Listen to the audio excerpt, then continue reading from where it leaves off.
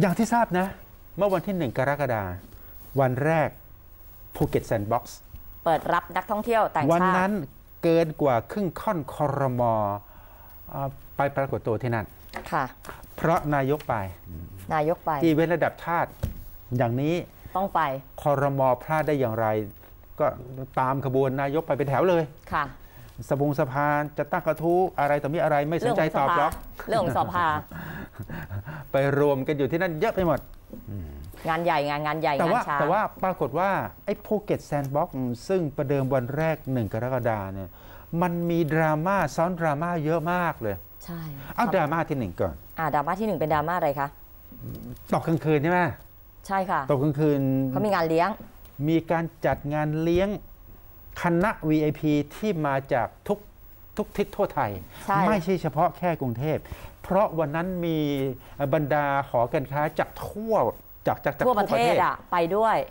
ไปเป็นการวมเลี้ยงให้กับนักท่องเที่ยวกลุ่มแรกไปร่วที่มมาเหยียบที่นั่นเมืองไทยด้วยไงแล้วก็อืมเลี้ยงทีมงานด้วยใช่ค่ะ ประมาณนั้นโอกาสเดียวกันดังนี่เลยดังนั้นมันจึงเกิดภาพนี้แล้วก็เป็นที่วิพากษ์วิจารณ์กันเยอะโอ้โหจัดงานเลี้ยงรวมกลุ่มกันได้เหรอ อันนี้คือคำถามที่เขาถามกันเยอะ ประมาณนั้นซึ่งซึ่งซึ่งเอิ่ม แล้วก็ก็ก็ก็ก็ก็แอลกอฮอล์ไม่อั้นแง่แง่ๆอยู่แล้วล่ะ แล้วก็คนไปรวมกันในงานเลี้ยงมันก็เยอะ 200 200อืม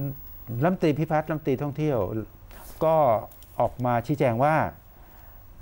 ออกมาชี้แจงว่ามันเป็นไปตามกฎเกณฑ์อืม ภูเก็ตเป็นพื้นที่สีเขียว ใช่ค่ะ เพราะฉะนั้นการเลี้ยงการดื่มอะไรก็ได้ แต่ว่าจำกัดไว้ไม่เกิน 200 คน เท่านั้นใช่เท่าค่ะนั้นและงานวันนั้นก็เป็นการเลี้ยงต้อนรับนักท่องเที่ยวกลุ่มแรกกับสมาชิกหอการค้าต่างๆ ด้วยจากทั่วประเทศก็กั VIP คนร่วมงาน มันก็มีคนแซวนะ ว่าไอ้ที่เห็นเป็นร้อยในงานเลี้ยงคืนวันนั้นเนี่ยเกินปะมันมีคนติดโควิดหรือเปล่ามีคนติดโควิดสะสมอยู่ในนั้นซุกซ่อนตัวอยู่ในนั้นหรือเปล่า ถามวันนั้นน่ะไม่รู้แต่ถามวันนี้รู้ว่ามีละ ถามวันนั้นน่ะไม่รู้แต่วันนี้มีละเอาเอาเอาอืมที่เขาย้อนกลับไปตั้งคำถามว่าคืนวันนั้นมีคนติดโควิดปะปนอยู่ในงานเลี้ยง VIP คณะแรกด้วยหรือไม่นั้นก็เพราะว่าก็เพราะว่า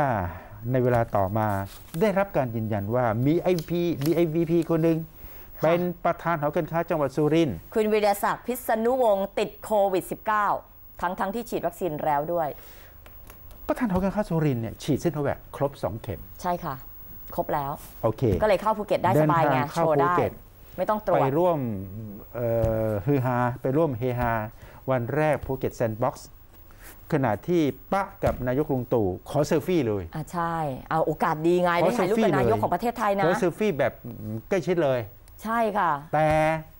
ไคลแม็กซ์มันมาเกิดตรงนี้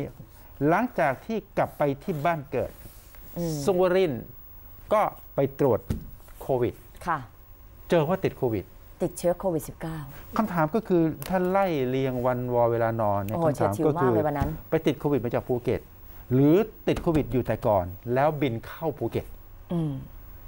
แล้วบินเข้าภูเก็ต นั่นสิ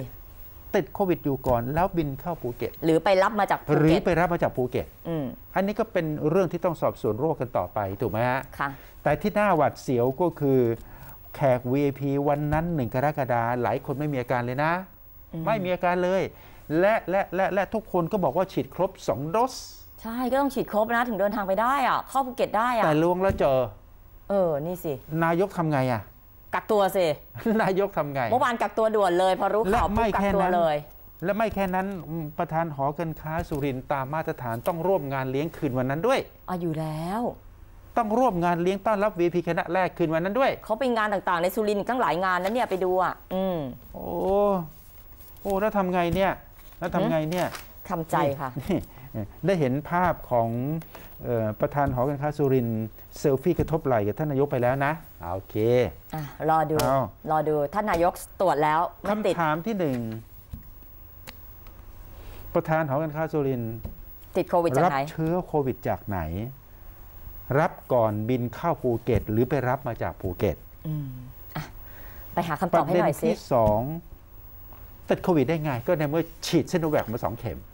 เขาบอกแล้วและที่ว่าน่ากลัวมากๆเลยก็คือ ด้วยพลังของด้วยอิทธิฤทธิ์ของซิโนแวคมันอาจจะกดอาการ เมื่อกดอาการมันก็ไม่มีอาการเออเมื่อไม่มีอาการยิ่งน่ากลัวเพราะจะกลายเป็นพาหะ ใช่ แต่เข้าใจก่อนนะ ฉีดวัคซีนไม่ได้ป้องกันการจะติดกลายเป็นเชื้อพานะหะนะเออไอ้การเป็นอาหารนี่โคตรน่ากลัวเลยอะเพราะมันไม่รู้มันปล่อยใช่เชื้อไปได้ไงเหมือนปล่อยใช่แสงให้ปล่อยเชื้อไปได้ไงแต่ใช่ฉีดวัคซีนอะ มันไม่ได้ใช่ป้องกันโควิดไม่ใช่ฉีดแล้วจะทำตัวอะไรได้นะกาดต้องสูงกาดอย่าตกใช่นะนะเพราะว่ามันติดเชื้อได้แต่เพียงแต่ว่าโอ้ยตายมันแล้วอาจจะไม่ลงปอดหรือรุนแรงเท่านั้นมันต้องเข้าใจก่อน งานเลี้ยง VP คณะแรกคืนวันนั้นที่ภูเก็ตเอ่อรัฐมนตรีพิพัฒน์ยืนยันว่าไม่เกิน 200 คนใช่ไหม เผลก็อๆตามนะกฎกติกามันห้ามเกินเผลอๆนะ สงสัยต้องเอาระดมทั้ง 200 คนคืนวันนั้นไปตรวจโควิดที่หมเอดอแล้วมีมีมีติดมากกว่านี้ไหมเห็นไม่รู้แว่วๆมาได้ยินอะไม่รู้ว่าฟังไม่ถนัดว่ามันมันมีเอาอย่างอีกนี้อะมีอีกอะมีบคนว่าติดอีในกอะคณะ VP อืมมีที่อีติดกอะโควิดมีมากกว่าประธานหอการค้าสุรินทร์เออจริงไหมอะจริงไหมแล้วก็เป็นใคร มันเป็นคำถาม ขณะนี้ในคณะ VP วันนั้นกำลังเช็คกันสนั่นหวันไหวกำลังโซฟอเอ้ยยู่แต่แปลกแต่แปลกนะอยู่ๆนะ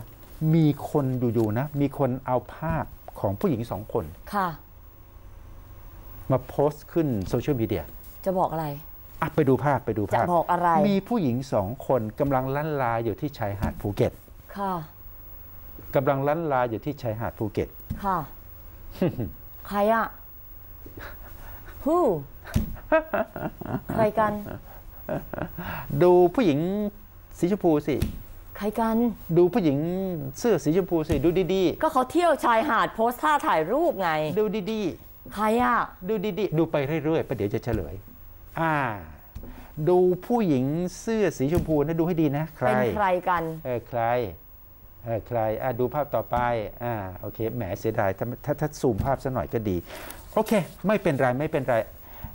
เฉลยก็แล้วกันเออเนี่ยแหละรอสาวตรงเนี้ยสวยเสื้อสีชมพูลันลาอยู่ที่ชายหาดภูเก็ตนั่นก็คือคุณนาทีอ้าวรัชกิจประการอ้าวจริงเหรอ เมียรัฐมนตรีพิพัฒน์ค่ะภรรยาลันลาลันลาลันลาอยู่ที่ชายหาดภูเก็ต วันนั้นเลยอ๋อเอาซูมใกล้ๆผู้สิหญิของดูอีกหนึ่งคน ค่ะเป็นใครผู้คะหญิงอีกหนึ่งคน สาวสวยเขาเรียกกันว่าคุณกลาง เป็นใครอะ หรือที่เขาเรียกกันว่ารองผู้ว่ากลางอ๋อชื่อรองผู้ว่าการท่องเต็มที่ยวๆก็ใช่ไหมคือ ชื่อเต็มๆก็คือถาปณีเกียรติไพบูลย์อ๋อรองผู้ว่าการท่องเที่ยว รองผู้ว่าการท่องเที่ยว